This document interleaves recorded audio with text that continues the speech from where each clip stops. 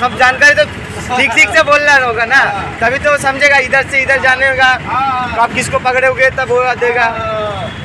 तो इधर से आप जब तिरुपति स्टेशन से आओगे सीधा डायरेक्ट हाईवे में पहुँच जाना। हाईवे से किसी ऑटो को पकड़ लेना डायरेक्ट श्रीनगर।